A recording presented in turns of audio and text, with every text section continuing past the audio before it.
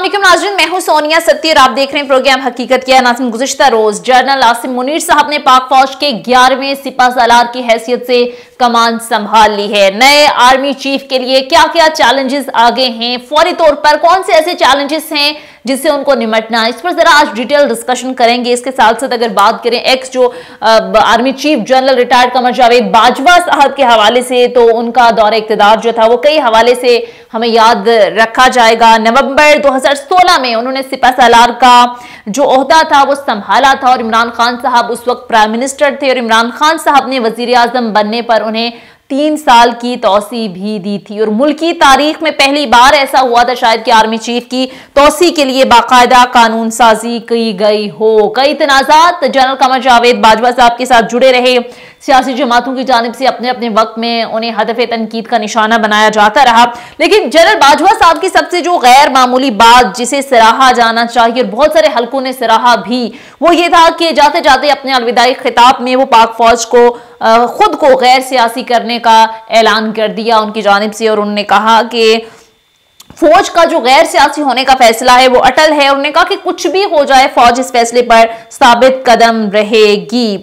इसमें उन्होंने कहा कि ना सिर्फ़ ज़ाहिर है ओवरऑल अगर डिस्कशन जो इस पर हुई, जनरल कमर जावेद बाजवा साहब के अलविदा खिताब पर तो इसमें ना सिर्फ़ हमारी फौज, बल्कि सियासी क्यादत के लिए भी ज़ाहिर है, एक सबक है कि जो नामुनासिब रवैये हैं, जो आप अपनी ज़ाती लड़ाइयाँ, जो पोलिटिकल हमारे लोग हैं अपनी ज़ाती लड़ाइयों पर, हर बार फौज को या इदारे को मुदाखलत की दावत देते हैं। इस सिलसिले को अब तक हो जाना चाहिए। दूसरी तरफ़ सियासी जो मंजरनामा है, वहाँ पर भी कशीदगी अपने उरूज पर है।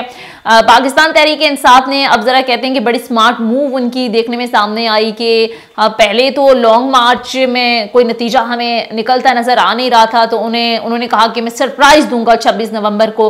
26 नवंबर को उन्होंने असम्बलियाँ डिसॉल्व करने का ऐलान कर दिया के पी और पंजाब असम्बली। पहले तो लग रहा था कि शायद प्रेशर बिल्ड करने की एक टैक्टिक है, लेकिन अब बाकायदा तौर पर लग रहा है, फवाद चौधरी साहब ने जो बयान दिया कि हम इसी हफ़्ते फैसला कर लेंगे और असम्बलियाँ डिसॉल्व कर लेंगे। अब दूसरी तरफ़ जो गवर्नमेंट है पीटीएम है, वो सारी की सारी सर जोड़कर बैठ गई है। गुजशत रोज शहबाज शरीफ ने आसिफ अली जरदारी साहब से भी इस हवाले से मुलाकात की और एक कोई लाहेमल स्ट्रैटी बना रहे हैं। वैसे ऑप्शंस गवर्नमेंट के पास बड़े कम हैं लीगली अगर देखा जाए, सियासी तौर पर देखा जाए, लेकिन वो फिर भी अड़े हुए हैं कि हम हर सूरत इस असम्बली को, खासकर पंजाब असम्बली की वो बात कर रहे हैं कि इसे डिसॉल्व होने से बचाएँगे। क्या कानूनी ऑप्शंस उनके पास बागी रह गए हैं? इस पर ज़ाहिर कुछ कानूनी माहरीन हमारे साथ मौजूद होंगे, कानूनी राय लेंगे उनसे। और इसके साथ साथ दूसरी अहम बात ये कि, कि वाकई अगर इमरान खान साहब असम्बलियाँ डिसॉल्व करते हैं तो फिर गवर्नमेंट क्या जनरल इलेक्शन की तरफ़ जाएगी या फिर जिमनी इलेक्शन मुमकिन है? इलेक्शन कमीशन की तर्जुमान की जानब से गुजशत रोज जो बयान आया था जिसमें उन्होंने कहा कि हम इलेक्शन करवा देंगे साठ रोज के अंदर अंदर उस पर खबरें आ रही थी कि मुस्ताफ़ी होने का ऐलान कर दिया गया है तर्जुमान इलेक्शन कमीशन की जानब से बल्कि इलेक्शन कमीशन ने गैर मुतनाज़ बयान पर उनसे इस्तीफ़ा जो है वो ले लिया है। बहरहाल ये कॉन्ट्रोवर्सी तो इसी तरह से चल ही रही है। आगे क्या होने जा रहा है, क्या ऑप्शन हैं? आर्मी चीफ के लिए चैलेंजेस क्या है? सारी सूरत हाल पर तफसील से बात करने के लिए माहिर और इसी सारी सूरत हाल पर बात करने के लिए प्रोग्राम के पहले हिस्से में हमें ज्वाइन किया है। माहिर, कानून और सियासत पे भी बड़ी गहरी नज़र रखते हैं। अजहर सदीक साहब, बहुत शुक्रिया अजहर सदीक साहब आपके वक्त का। इसके साथ साथ सीनियर एनालिस्ट महमूद जान साहब भी प्रोग्राम में हमें ज्वाइन कर चुके हैं। थैंक यू सो मच आपके वक्त का भी। अजहर सदीक साहब, जरा आगाज़ आपसे कर लेते हैं। जनरल आसिम मुनीर साहब, पाक फौज के सत्रहवें सिपा सालार की कमान आज उन्होंने संभाल ली है। और ज़ाहिर है जो एक्स जनरल कमर जावेद बाजवा साहब थे, उनकी भी ज़ाहिर है अपनी एक लेगेसी वो छोड़कर जा रहे हैं। और ज़ाहिर आसिम मुनीर साहब एक ऐसे वक्त में फौज की कमान संभाल रहे हैं, जब फौज ने खुद को आइनी किरदार तक महदूद और गैर सियासी होने का फैसला कर लिया है। सर, आपको क्या लगता है इस फैसले को अमली इकदाम से साबित करना एक इम्तहान होगा उनके लिए? फौरी और बड़ा चैलेंज आपको क्या लगता है, क्या होगा आर्मी चीफ के लिए? देखिए एक बात तो बड़ी वाजे तौर पर क्लियर है कि जनरल सैयद आसिम साहब जो है ना वो एक एक फ्रंट लाइन पे खेलने वाले सिपा सालार है हम्म। और मेरा भी ख्याल है कि वो किसी इफ़ेक्ट बक्स में जाएँगे हम्म। उन्होंने एक तो इदारे का तकदस वो बहाल करना है कंफ्यूजन रही है और मैं तो उनको मुबारकबाद इसलिए पेश करता हूँ कि उन पे उम्मीदें बहुत ज़्यादा है कौम और हम जो तो लोग फिफ्थ जनरेशन वॉर या सिक्स जनरेशन वॉर से लड़ते रहे हैं तो सिपाहियों के तौर पर हम्म, उनका हम्म। वापस आना बड़ा ज़रूरी है क्योंकि तो अगर वो लोग वो लोग यहाँ साथी मिलते हैं तो ऐसे लोगों का मुकाबला करना बहुत ही नज़र आता है अच्छा। ये कॉन्सेप्ट भी एक अजीब सा बना हुआ है कि अपनी पसंद का बंदा जो लगाना होता है नवाज़ शरीफ ने गालबत पाँच पीछे chief of the army staff लगाए हाने के बारे में अपना बंदा कहते हैं और तारीख में देखा कि chief of the army staff ने अपना जो तरीका था, जो इदारे के हवाले से बात की उसी के मुताबिक किया। अब इस बारे में भी कहा जा रहा है कि ये भी उनका अपने बंदे के बारे में हवाले नहीं है। मैं नहीं समझता कि इस तरह की कोई रुकनी चाहिए बल्कि मैंने तो मुशावरत के अमल में भी ये कहा था कि ये जैसे बैठ के लंदन में कोई बातें हो रही है, इस तरह की कोई गुफ्तगू होनी ही नहीं चाहिए। और ये टोटल इदारे को होना चाहिए। और मैं समझता हूँ कि इस वक्त जो सिलेक्शन भी हुई है वो इदारे के अंदर से हुई है और इदारे को ही सारे मामले में रखना चाहिए। और आने वाले दौर में सीनियोरिटी का प्रिंसिपल का बल्कि इतलाक ही करना चाहिए। ताकि हर एक को जैसे जैसे चीफ जस्टिस हाई कोर्ट या चीफ जस्टिस सुप्रीम कोर्ट के बारे में होता है। तो बहुत सी उम्मीदें वाबस्ता है। जनरल कंवर जनरल बाइबल के बारे में कोई कंट्रोवर्सीज है तो। वो मेरा ख्याल है वो रहेगी। है। कहें कि वो दूर हो जाए वो नामुमकिन में है। यानी ऐसे ऐसे दौर गुजारे हैं। जनरल जनरल परवेज मिशन में जो बेहतरीन दौर गुजारा बेहतरीन लेटर की स्टोरी लेकिन वो भी कंट्रोवर्सीज क्या रही वो सियासतदानों के हवाले से ये मामला करते रहने हैं। अगर ये कहें कि ये सब कुछ अच्छा हो जाएगा कुछ चीज़ें बेहतरीन चली जाएँगी तो वो बहुत मुश्किल है is nobody perfect in this world exactly हम अगर जीना चाहें तो जी ले। लेकिन मैं जो आगे देख रहा हूँ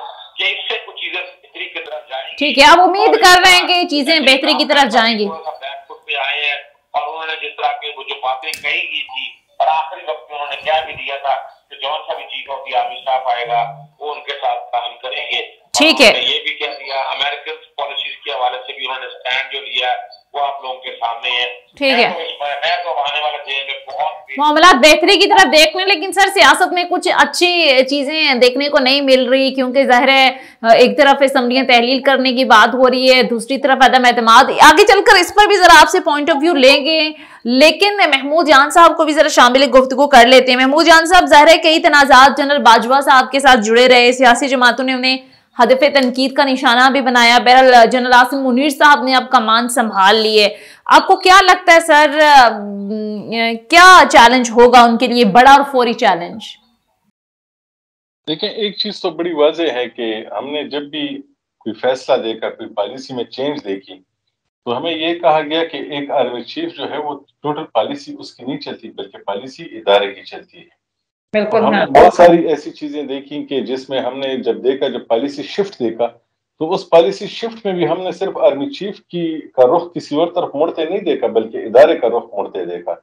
तो इसलिए मैं ये समझता हूँ कि मुनीर साहब जो हैं वो बाजवा साहब से इस मामले में डिफरेंट हैं। उनकी जो शोहरत है वो ये है कि वो बहुत पहले से ही ये कह चुके थे कि जिसका जो काम है वो वही करे और हमने किसी के साथ नहीं देना किसी के खिलाफ नहीं जाना। अपना काम करना है और अपने काम तक महदूद रहना है। तो अगर वो ऐसा करते हैं तो ये तो ठीक है कि उनकी बॉडी लैंग्वेज से जो नीचे जो फोर्स होगी, उन्हें जो मैसेज जाएगा, वो तो बड़ा इम्पोर्टेंट होता है। लेकिन फिर भी जब इदारे की पॉलिसी बनती है तो वो सिर्फ़ एक आर्मी चीफ की नहीं बनती, वो फिर एक मुशावरत होती है। उस मुशावरत में फिर बात बनती है और फिर जाके फैसले होते हैं। तो मेरा ख्याल है कि इससे फ़र्क तो पड़ेगा कि आसिम मुनीर साहब आए हैं। और इदारे को भी जो खुद इस वक्त एहसास हुआ है कि उन्होंने जो माजी में माजी करीब में ये माजी करीब की मैं बात करूँ तीन चार पाँच साल की उन्होंने जिस तरीके से सियासत में इदारे ने अपना वज़न किसी न किसी हद तक डाला है तो उसके उन उनको नुकसान हुआ है। दोनों हम्म। तरफ़ से उनको क्रिटिसाइज किया गया है। पहले जब उन्होंने इमरान खान साहब को सपोर्ट किया तो मुखालिफ जमातों ने उनके खिलाफ बात की। फिर जब इस बार उन्होंने इमरान खान साहब को छोड़ के वो न्यूट्रल हो गए और उन्होंने कहा कि हम गैर जानबदार रहेंगे और अपने काम तक महदूद रहेंगे तो वहाँ से उनको क्रिटिसाइज करना शुरू किया गया। तो इसलिए मेरे जाती ख्याल ये है। ये वैसे हर सियासी जमात का मसला है। आप सही कह रहे हैं महमूद जान साहब। अब जब ये जमातें इकतदार के अंदर होती हैं तो सब ठीक होता है। सेम पेज भी होता है, जो इकतदार से निकलते हैं तो फिर ये इदारों पर तनकीद करना शुरू कर देते हैं। अच्छा अब जरा आगे चलते हैं। असर सदीक साहब, अब इमरान खान साहब इसम्बलियाँ तहलील करने की बात कर रहे हैं और जो मौजूदा गवर्नमेंट है, पीडीएम है, वो ये कह रहे हैं कि हम किसी सूरत तहलील होने नहीं देंगे। वाजे तौर पर नज़र आ रहा है कि हुकूमत के पास कोई ऐसी पॉलिसी नहीं है कि किस तरह से इस तश्कील को रोकेंगे। ज़ाहिर है, आप लीगल एक्सपर्ट भी हैं। आपको लगता है कि आईनी और कानूनी तौर पर ऐसा कर सकती है? इस वक्त गवर्नमेंट के असम्बलियाँ तहलील होने से रोक रहे तहरीक अदम एतमाद की बात कर रही है इस पर। ज़ाहिर कहा गया है जो चीफ मिनिस्टर पंजाब है, वो कह रहे हैं, सेशन चल रहा है, इसके दौरान तहरीक आदम एतमाद आ नहीं सकती। फिर गवर्नर राज की जो बात हो रही है, ये भी लगाना ज़ाहिर है, अठारहवीं तरमीम के बाद जो चीज़ें बदली उसमें आसान नहीं होगा तो क्या लीगल रुकावट आपको लगता है? एक बात तो बड़ी वादे है कि पीछे भी हमने देखा कि पाकिस्तान तहरीके इंसाफ, मुल्क की सबसे बड़ी सियासी जमात थी। नेशनल असेंबली में इनकी मेजोरिटी थी, लेकिन जिस तरह बंधक बाँध हुई, जिस तरह वोट खरीदो फरोख्त हुई, और उसका अल्टीमेट आपने हाल देख लिया। पंजाब पंजाब असेंबली में भी जो कुछ हुआ और डिस्कालिफिकेशन डिफेक्शन के हवाले से मुनद होने की वजह से होगी और वो केस बड़ा वाजे तौर पर सेटल हो चुका है तो हम्म। इस वक्त मुनारब होना वोट डालना तो नामुमकिन में चला गया। जिसने अपनी को सीट गंवानी हो तो वो एक अलहदा बात है।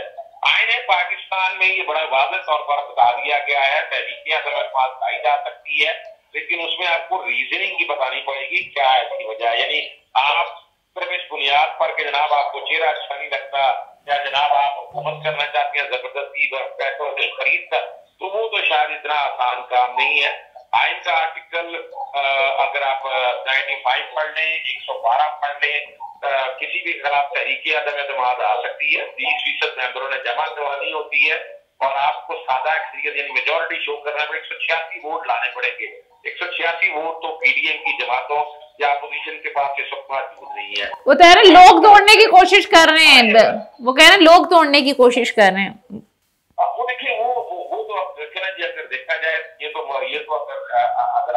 ये अमानत में खयानत करने वाली बातें या बहुत ब्रेक से लाना चाहे अलग बात है। लेकिन इस वक्त पहला बात जो है ना कि वो भारी है, इमरान खान साहब और पाकिस्तान मुस्लिम लीग का आपके, इसलिए पहला भारी है क्योंकि मेजोरिटी है। और आइन का आर्टिकल एक बहुत बड़ा उदाहरण के साथ क्या कहता है कि अगर आपका मेजोरिटी आप आप चीफ मिनिस्टर हैं, और चीफ मिनिस्टर समिया तहरीर करने की एडवाइस देता है गवर्नर को तो गवर्नर ने अड़तालीस घंटे के अंदर अंदर समिया तहरीर करनी है। बिल्कुल। कोई रेमेडी नहीं है हाँ लेकिन ये डिले डिले करके कहीं ऐसा ना हो जाए अजहर सदीक साहब ये जिस तरह से कौमी असम्बली में हुआ था तो ये डिले इनके लिए खतरा भी बन सकता है? अगर तहलील करनी है तो फिर करें या फिर क्या इंतज़ार किस चीज़ का है? देखिए मैं मैं जो समझता हूँ ये मौका है हुकूमत हक का कि वहाँ बैठ के खुद डायलॉग की बात कर सकती है तो आगे पीछे असम्बलियों का कोई ना कोई डेट दे सकती है। लेकिन उनका इरादा इसलिए नहीं है कि वो और इमरान खान साहब उनके साथ पीपल के इस कॉन्टेक्ट में नहीं बैठेंगे कि आपको एनआरओ दे दिया जाए। वो तो इस चक्कर में होगा ना कि उनके किसी काम को ना किया जाए। कहा अगर कोई सवाल से आ जाए वो आगे कहेंगे ठीक है कि शरीयत तो हम भी नेशनल शरीयत तोड़ने के लिए तैयार है और आप इसमें आगे इलेक्शन आगे पीछे देने की जा सकती है। लेकिन इस इस केस के ऊपर पीडीएफ के ऊपर ट्रस्ट करना जो है वो मैं नहीं समझता। ठीक है। पहुँचा सकता है। ठीक है। कोई लंबा काम नहीं है। इन्होंने सिर्फ़ और सिर्फ़ एडवाइस करनी है और एडवाइस मेरी खातिर है कि वो अभी प्यार पड़ी है सुबह पंजाब के हवाले से भी और सुबह खैबर पख्तूनखा के हवाले से भी। हाँ होगा क्या? यानी ये जो क्या तरीके से दिमाग लाना भी चाहती है तो खरली का सेशन चल रहा है वो रूल्स के हवाले से बात हो रही है रूल्स प्रोसीजर है। ठीक है। आइन का आर्टिकल सात और एक सौ सत्ताईस बड़ा क्लियर है। हाँ। इसमें बताया गया है कि खरली का जो इजलास बनाना है उसके रूल्स और प्रोसीजर बनाए जाएँगे। आर्टिकल एक सौ बारह में ये तो लिखा हुआ है कि बनी के बाद बजट का सेशन हो रहा हो तो वक्त नहीं लाई जा सकती। लेकिन ये याद रखना हमें कि असेंबली के इजलास का इस्लामी के इजलास का मकसद क्या है? कोई बहुत अहम इशू है कोई कानून जा रही है। तो ठीक है। है पॉइंट टेकन सर ठीक है ठीक है। अच्छा महमूद जान साहब मैं जरा क्विकली आपकी तरफ़ आऊँगी। एक तो सर ये बताएँ कि वो सभी लोग जो इमरान खान साहब को सुबह शाम चैलेंज देते थे कि आप आज असम्बलियाँ तोड़े, हम कल इलेक्शन के लिए तैयार हैं। क्या मरियम नवाज़ साहबा, क्या राना सनाउल्ला क्या मुसद्दिक मलिक, क्या लतीफ खोसा, इवन कमर जमन कायरा साहब के भी बयान ऑन रिकॉर्ड मौजूद हैं। तो सर, अब क्या वजह है कि पहले चैलेंज देते थे, अब जब इमरान खान साहब इस पर आए तो वो असम्बलियाँ बचाने की भागदौड़ में लग गए असम्बलियाँ टूटेंगी भी तो ज़्यादा से ज़्यादा इलेक्शन हो जाएँगे, आवाम के अंदर चला जाएगा कि फैसला आवाम करे तो डर क्या इन लोगों को? देखें, एक बात तो बड़ी वाजह है कि वो इमरान खान को हर सूरत वो सड़क की पॉलिटिक्स से रोकना चाहते थे, एहतजाजी पॉलिटिक्स से रोकना चाहते थे। तो वो चाहते थे कि उन्हें ताना दे के एक ऐसी जगह पे लाया जाए जहाँ पे जब बात हो तो मुल्क का निज़ाम भी चलता रहे और साथ में सियासत भी चलती रहे। जबकि इमरान खान साहब उस वक्त लॉन्ग मार्च हकीकी लॉन्ग मार्च और मुख्तलिफ़ किस्म के धरनों पे उस वक्त उनका फोकस था। तो ये चाह रहे थे कि उनको लोगों की तवज्जो भी डाइवर्ट रहे और इमरान खान को एक्सट्रीम उस पर ले जाके उसे मजबूर किया जाए कि वो ऐसी जगह पे आए कि जहाँ पे मुल्क का निज़ाम मुतासर ना हो। तो इनका ये ख्याल था कि इमरान खान ऐसा नहीं करेंगे, क्योंकि इमरान खान को ना तो पंजाब से इसमें सपोर्ट मिलेगी ना ही खैबर पुख्तनख्वा के लोग उसकी उसके कहने पे असम्बली तोड़ेंगे। तो इसलिए इनको ये इस बात का एहसास नहीं था और फिर इनको इस बात का भी ये पता था कि अगर खान ऐसा करेगा तो इनके पास उसे रोकने का वो इसम्बलियाँ तोड़ेगा तो इस वक्त आइन में ऐसी कोई शिक नहीं कि जो इमरान खान को इससे रोक सके। सिर्फ़ एक ही तरीका है कि अगर वन थर्ड मेजोरिटी आपके पास है तो फिर आप जाके वहाँ पे असम्बली में एक अदम एतमाद की करारदाद जमा करा सकते हैं, तहरीक जमा करा सकते हैं, उस पर फिर आपने कार्रवाई करनी होगी। लेकिन इन दोनों जगहों पे इमरान खान के लोगों को तोड़े बगैर अपोजिशन किसी तरह कामयाब नहीं हो सकती। और आपने देखा कि पिछली बार भी जब ऐसे हुआ कि लोगों ने हमजा शहबाज शरीफ को इमरान खान के लोगों ने उसे सपोर्ट किया तो उस फैसले को रिवर्स कर दिया गया। तो अब इस किस्म के ऐसे कोई इम्कान नहीं कि इमरान खान के लोग भी अपोजिशन से मिल जाए तो वो असम्बली को बचा लेंगे तहरीक अदम एतमाद में ऐसा कुछ नहीं हो सकता। इसलिए अगर उसके अपने इतिहादी और पार्टी के लोग इमरान खान की बात मान लेते हैं तो असम्बलियाँ टूटेंगी। हाँ उसका दूसरा जो मरहला होगा, वो ये होगा कि आया इन दोनों असम्बली टूटने के बाद मुल्क में जनरल आम इंतबात होते हैं या हाँ ये बड़ा आम सवाल है बिल्कुल। तो अगर ये इंतबात होते हैं तो मेरे ख्याल में उसमें इमरान खान के लिए फिर थोड़ी सी मुश्किल होंगी। उसकी वजह यह है कि अब इमरान खान की पोजीशन साल 2018 वाले इमरान खान की नहीं जब उसको मदद भी हासिल थी लेकिन सर अभी जितने भी जिमनी इंतबात हुए sorry to interrupt you Mahmood Jan साहब, उसमें इमरान खान साहब को वाजे बढ़तरी मिली है।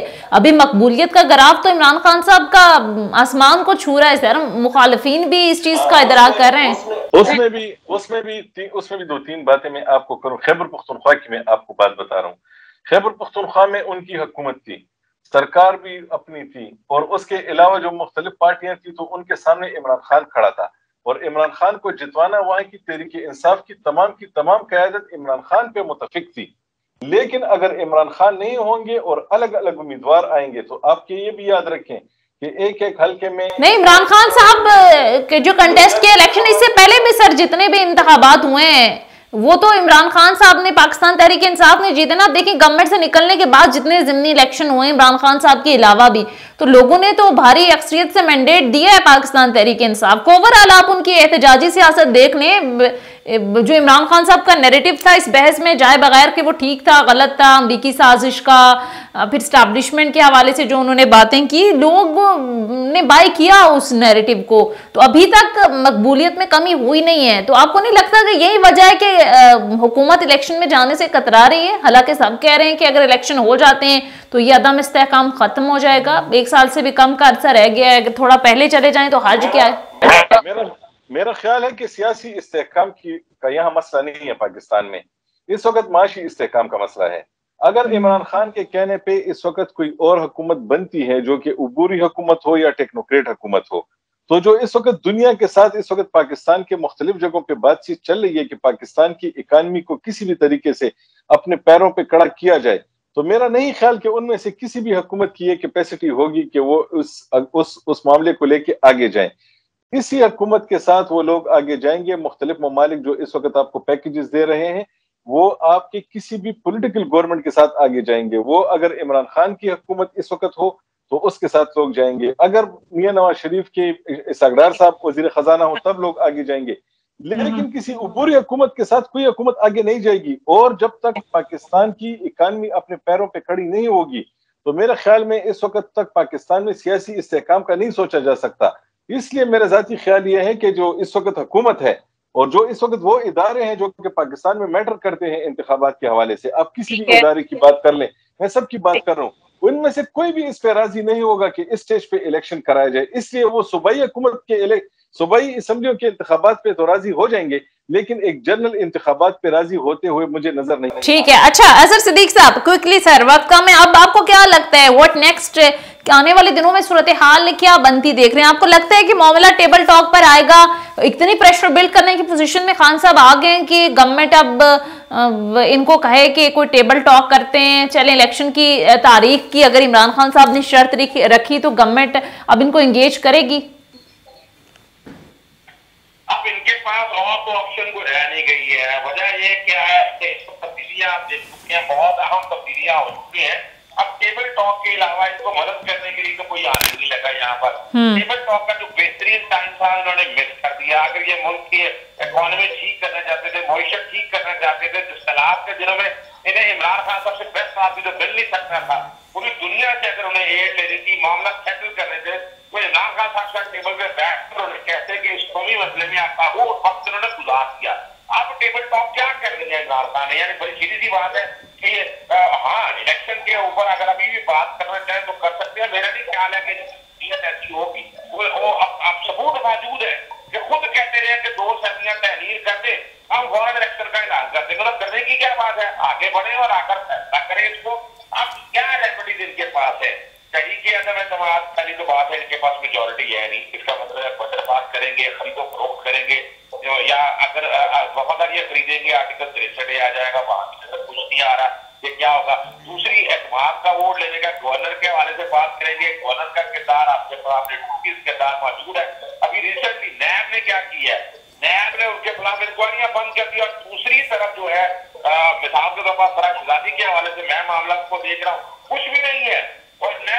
पागलों की तरह से लगा हुआ है तो मुनाफाना रवैया तो आपके सामने आ चुका है। क्या करेंगी? ज़्यादा से ज़्यादा ये कर सकती है कि अगर असम्बलियाँ डिजोल्व की तो उसको चैलेंज करेंगे। जब चैलेंज करेंगे जब देखा जाएगा। हमने तारीखी तौर पर देखा है ठीक है।